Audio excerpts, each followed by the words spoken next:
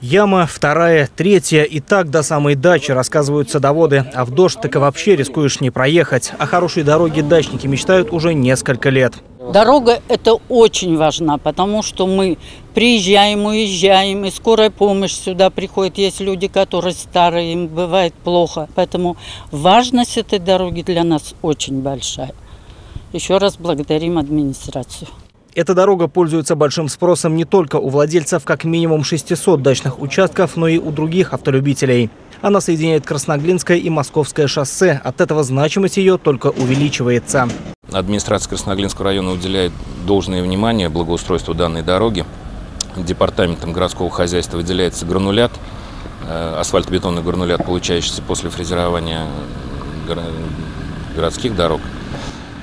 Часть гранулята выделяется администрацией на, именно вот на этот участок дороги, поскольку очень большой поток машин здесь.